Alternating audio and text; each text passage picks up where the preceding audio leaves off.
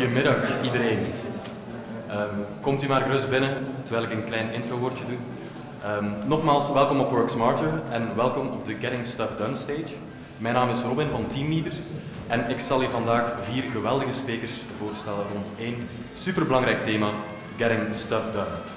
Ehm, natuurlijk hebben we dat thema niet zomaar gekozen. Ondernemen kost namelijk bloed, zweet en tranen maar vooral ook tijd. Ik denk, als ik even rondkijk, is er iemand die tijd te veel heeft? Zijn of haar dagelijks? Ik zie bevestiging. Um, nee, daarom dat we vandaag rond dit thema gaan werken um, en dus vier geweldige sprekers hebben die het zullen hebben rond productiviteit en uh, meer doen met minder. Um, jullie zien het programma hier her en der in de grote zaal geprojecteerd. Je, kun, je kan ook op je uh, kaartje kijken voor de URL, op je badge, voor het hele programma. Maar hier vandaag beginnen we zo meteen om 11.30 uur, dus ietsje later, uh, met onze eerste spreker. Het programma voor dit podium zal zijn om 11.30 uur Janka Vleerakkers. Um, dan om 12 uur gaan we naar de lunch, maar loop niet te ver weg, want om 13.15 uur beginnen we opnieuw met Rafael Luscher. Om 13.45 uur is er Beatrice de Mailleux en om 14.15 eh, uur gaan we dit podium alvast afsluiten met Philippe Kim. Maar goed, First things first. Um, wie vertelt er hier alles graag een mop? Geweldig veel enthousiaste reacties. Wie is er ook goed in het vertellen van moppen? Exact één iemand. Ik denk dat dat genoeg zegt. Um, iedereen die ooit al eens verloor in een langdradige mop of een saaie anekdote weet, het is helemaal niet zo makkelijk om een boeiend verhaal te vertellen. Laat staan als het over jezelf moet gaan, je product of je bedrijf. En nogthans is dat iets dat uh, moderne ondernemers echt wel moeten bezitten. Het talent om zichzelf te presenteren, om iets te vertellen, om iets in de verf te zetten. Uh, kortom, storytelling. Onze eerste spreekster van de dag heeft van storytelling haar passie gemaakt. Ze kweekte haar talenten voor de camera, in het theater en nu de laatste tien jaar als public speaking coach en keynote speaker van de Thought Leaders Academy. Um, dames en heren, without further ado, een daverend applaus voor Janka Vleerakkers.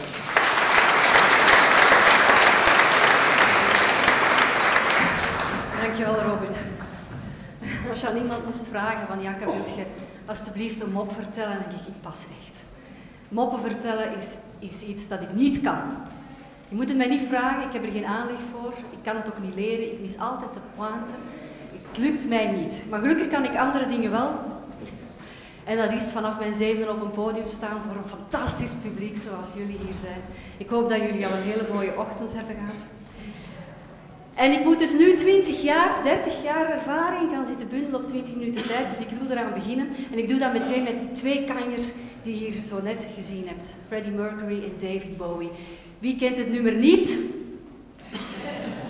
Oef, gelukkig. Under Pressure. Fantastisch nummer. Blijft in je lijf zitten, geeft heel veel energie.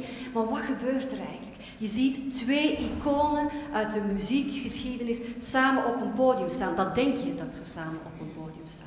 Ze hebben het nummer samen gemaakt, maar ze hebben nooit live samen gezongen. Nee, dat is een compilatie die een platenfirma ooit heeft gemaakt na het succes van Under Pressure. Maar ze hebben het wel samen gecreëerd ergens in een studio in Zwitserland, omdat David Bowie in 1981 ongeveer uh, daar naar uh, is afgezakt, omdat hij iets van vocalen ging inzingen in een ander nummer van Queen. Nu, daar lukte niet zo erg en ze beginnen te jammen en te jammen. En tijdens een nachtelijke cocaine-sessie kwam dit nummer bovendrijven.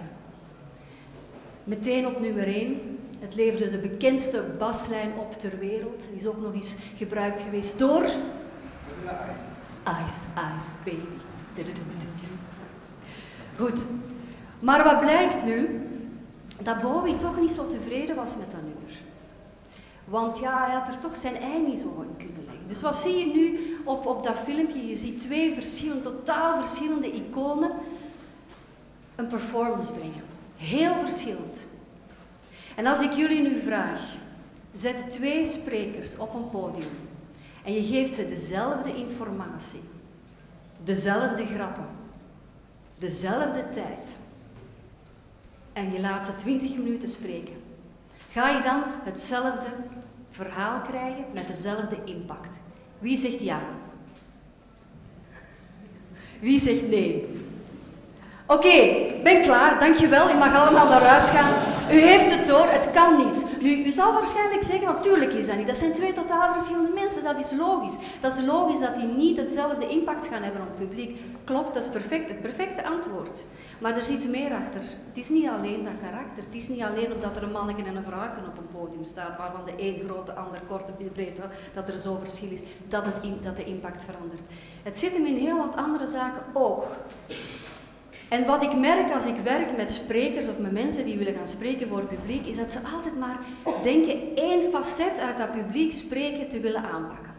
Want ze hebben geleerd dat storytelling moet gebeuren. Want ze hebben geleerd dat je power poses moet aannemen. Of ze hebben geleerd dat je vooral veel energie moet gaan tonen. Dat het een show moet zijn. Dat denken ze dan.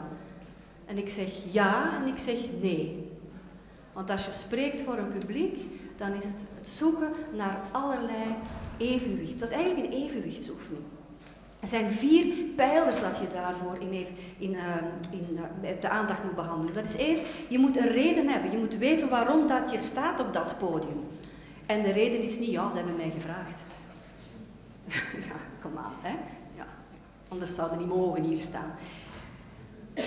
Een aantal technieken ja, dat leer je veel. En die technieken hoef ik je niet te leren. Je googelt gewoon even. Je krijgt heel de lijstjes en zo. De technieken kan je als een trucendoos gewoon uitpakken en uitproberen. Daar gaat het niet om. Ik haal de mensen er zo uit die met een trucendoos op een podium staan. Ze vallen door de mand. Het plakt op je lijf. Kennis. Oh, we kennen ze allemaal. Hè. De sprekers met heel veel kennis. Bakken informatie. Bakken expertise. Maar ja, hè. we weten het gevolg daarvan. Of de spreker zelf, heel flamboyant, heel extravert, heel tof. Mm, maar is het dat dan alleen? Nee, het is een combinatie van de vier en ik wil jullie de komende tijd hiermee verblijden. En waarom vind ik dat ik hier wel mag staan? Omdat dit mijn verleden is. Heel geloofwaardig als een brutale prieel. Pas op, ik loop met een wapen rond, of ik heb dat toch gedaan. Ik schiet wel serieus mis, geef dat toe. Maar als je al een hele leven opgroeit op een podium, wat ik heb gedaan, ik ben als kind op een podium gestapt, ik ben er nog altijd niet afgegaan, wat ik er doe is wel anders geworden. Maar het maakt dat ik altijd met verhalen ben bezig geweest, met teksten ben bezig geweest. Ik heb Vondel, ik heb Proust, ik heb Shakespeare, ik heb analyses gemaakt, ik heb met karakters gewerkt. Ik weet hoe dat beestje werkt. Het zit in mijn lijf en leden. Ik heb van alles gedaan, geschreven, geregisseerd, alleen noem het maar op. Al de aspecten van wat met taal en brengen en performance te maken heeft in een boek, op televisie, op theater. Ik heb het allemaal gedaan omdat ik het graag doe, omdat ik er door gepassioneerd ben. En uiteindelijk heeft dat geresulteerd in de Thought Leaders Academy, een plek waarin ik hoop dat enkel van jullie die sprekers willen worden, zijn er hier aspirant sprekers of ervaren sprekers? Alleen mannetjes. Oké, oef. Het is plezant hoor om hier te staan. Je gelooft het misschien niet, maar dat is echt plezant. Dus om sprekers uh, op te leiden en te begeleiden in het zich goed voelen hier op een podium. Hiernaast, ik weet niet dat Robin van hiernaast, of Tom, Tom van hiernaast, die zegt ik vind dat niet plezant, Jan krijgt. Dat zijn de twintigste minuten die echt van mijn leven gaan. Ik vind het niet leuk, maar ja, het moet. Maar bij mij is dat dus niet het geval. Goed.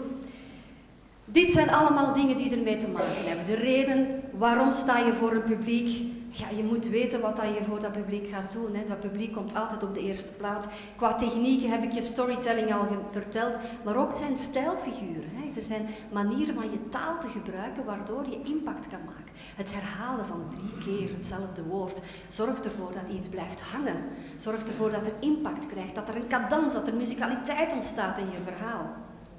Je taal, je lichaamstaal, maar ook gewoon je taal dat je gebruikt. Waarom spreek ik met je? Waarom blijf ik niet met u spreken? Dat zijn allemaal keuzes dat je maakt. Ik maak die keuzes bewust, omdat ik naar jullie kijk, omdat ik voel, ja, waar hangt ik, welk vlees dat ik hier in de kuip heb. Kennis, wat heb je geleerd, wat ken je, wat heb je ervaren en hoe ga je dat dan in een structuur gooien? Want spreken, ik hoor ze het graag zeggen, die sprekers, oh je moet ik improviseren. Oh mannetjes, als ik mijn tekst moet van buiten leren, dat is niet authentiek. Wel, als iets niet authentiek overkomt, dan is dat omdat je niet genoeg geoefend hebt. Je moet heel veel oefenen. In theater oefenen wij twee maanden om één bepaald toneelstuk er goed in te krijgen. En dan de spreker, wat is de, de stem, de persoonlijkheid, wat is de mindset? Dus als je zo'n commentaren geeft bij het buitengaan, en ik hoop dat je ze straks niet geeft.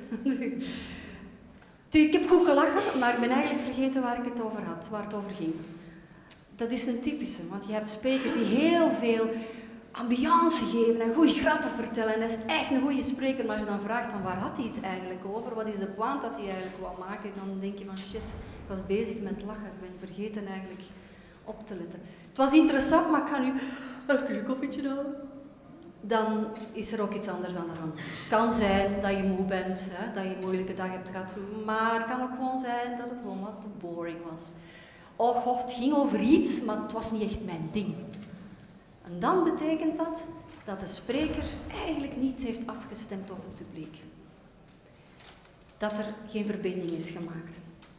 Dus wat zijn mijn persoonlijke, want het zijn de dingen, de mantras eigenlijk die ik gebruik elke keer als ik hier weer op dat podium ga staan of mij daarvoor klaarmaak. Ook de professionele richtlijnen die ik je kan geven om een start te maken in dat sprekerschap, dat is het deze al. It's about them. It's not about you. Ik sta hier te blinken op dat podium. Misschien ook echt, zou kunnen. ik heb die spots hier op mij. Ik krijg zo'n poster op die Wall of Fame bovenaan de trap. Ik heb hier een zaal vol. Ik krijg een, intro. Ik krijg hier alles wat mij opheft tot een soort van held. Maar ik ben hem niet. Ik ben hem helemaal niet. Want jullie zijn. Want wat gebeurt er in een film met de held? Iemand wordt een held. Iemand heeft iets voor, moet een inzicht verkrijgen, loopt een weg af, doorstaat hindernissen, ontdekt de oplossing, probeert en komt tot inzicht. En wordt dan de held. Dat inzicht heb ik al verworven. Ik heb mijn, mijn kweesten al afgelopen door de jaren. En ik sta nu hier als een soort van uh, Yoda, is dat dat manneke in uh, Star Wars? Of uh, The Karate Kid, Mr. Miyagi, It's me. Ik ben een soort Mr. Miyagi en ik wil dat jullie, dat jullie alle Daniel LaRusso zijn, die jullie leert of de weg vrijmaakt van hoe kan je evalueren. Dus ik ben niet meer de held, jullie zijn hem. It's about them, it's not about you. Weet wie dat er in je publiek zit. Leer die mensen kennen, in het echt of door een gesprek met de organisator. When they go low, we go high. Wie heeft die speech gezien van Michelle Obama? was fantastisch, hè? En waarom was dat fantastisch? Omdat ze erin slaagde om persoonlijk... Dat is natuurlijk heel goed geschreven door een speechwriter. Maar um, ze slaagde erin om persoonlijke verhalen te gebruiken voor haar doel. Maar door die persoonlijke verhalen te, te gebruiken, kon ze contact maken met het publiek. Ze vertelde, wat is er universeler dan spreken over uw kinderen? Dat is een van de meest handige dingen als je ouder wordt, moeder of vader, is dat je eindelijk overal weet waarover dat je kunt praten met iemand. Altijd. Zelfs met mensen die nog geen kinderen hebben. Die zitten dan wel zo te knikken, alsof dat ze het allemaal weten. Maar je kunt er toch mee over praten. Kinderen en het weer. Nu ja, Obama heeft niet over het weer gesproken, maar wel veel over haar persoonlijke leven, waardoor dat ze contact kon maken, verbinding kon maken. Um, en daardoor had ze natuurlijk heel veel succes met die speech en kwam ze in de analen van de speechgeschiedenis terecht. Werd ook voor het eerst geopperd van deze First Lady zou wel eens een volgende president kunnen zijn. Storyfy. Maak van alles wat je vertelt een verhaal. Want data aan zich, statistieken, cijfertjes, dat is misschien allemaal interessant voor die linker hersenhelft van ons. Er zijn mensen die daar echt op kikken. Ik ik begrijp dat niet, want ik ben een creatieveling. Dus ik zie veel cijfers zijn en die staan en ik denk, ik ga even teamleader bellen, want dat is, dat is handiger.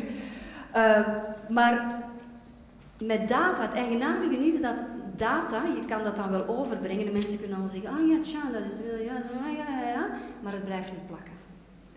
Maak die van die data een verhaal, visualiseer die bijvoorbeeld, of storyfy die, en ze blijven wel plakken.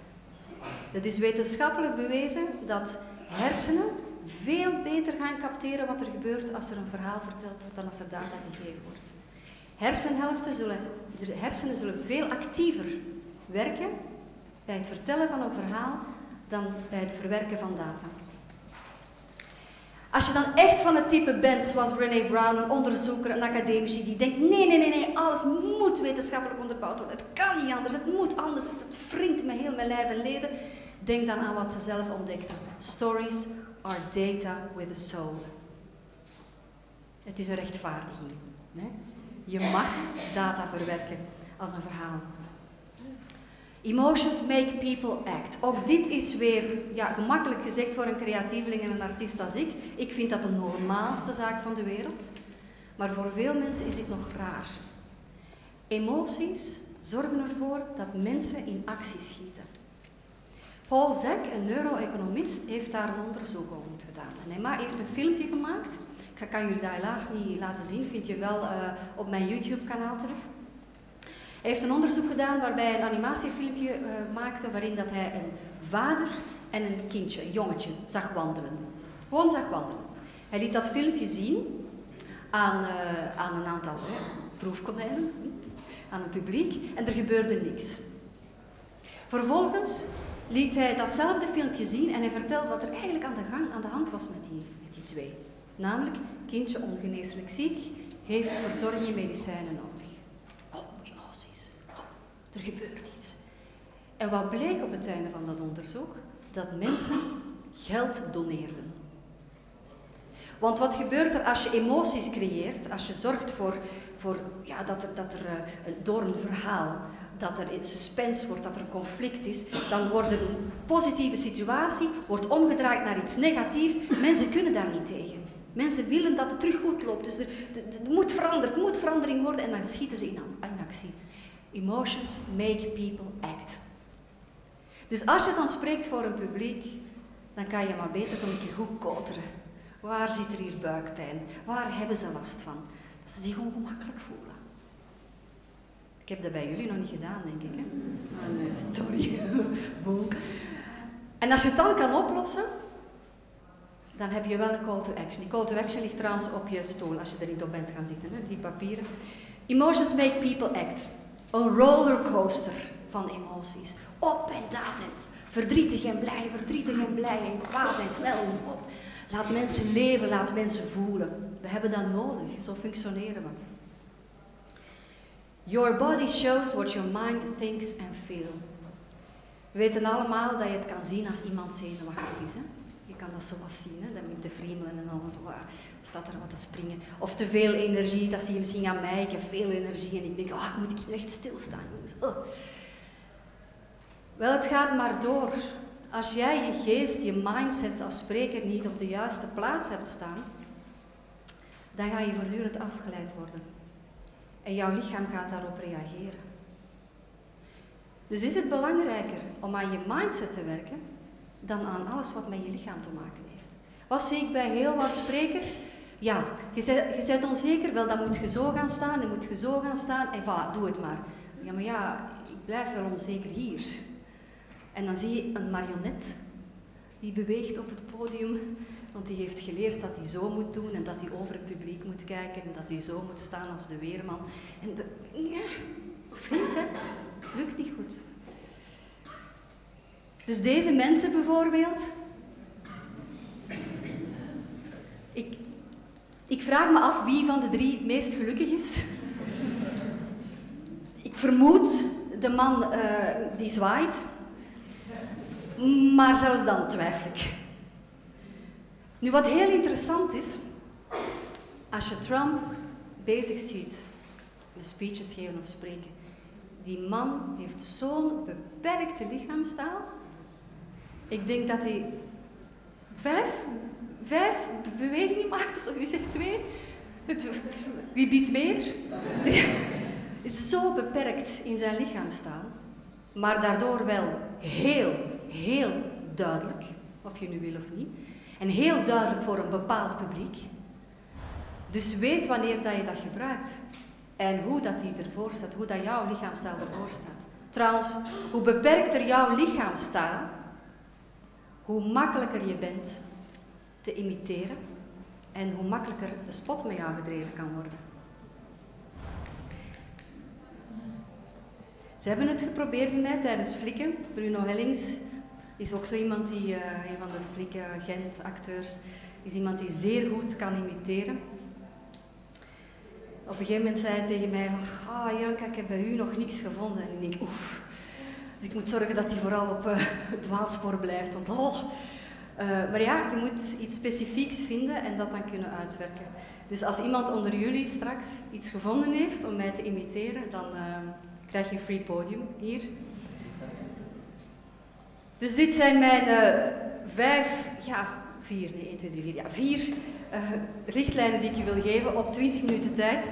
Emotie gebruiken, op zoek gaan naar emoties in je verhaal, naar wat je aan emotie kan teweegbrengen vooral. Ja, publiek, vergeet je publiek niet, dat is eigenlijk het allerbelangrijkste. Zonder hen zou je er niet staan. En dan Storyfy, en dan als laatste, vergeet jezelf niet. Want jij bent uiteindelijk het medium, het kanaal langs waar dat, uh, dat verhaal erdoor moet. En als je met die dingen werkt, en natuurlijk in training gaan, gaan al deze zaken concreter worden, hè, met, met oefeningen, en kan je dat uitproberen. Dat is een proces met vallen en opstaan. Hè. Dat is uit, uitproberen en dan denk je, ja shit, nu ben ik wel volledig door de mand gegaan. Daar trok op niks. Ja, volgende keer beter. Beter dan anders, volgende keer.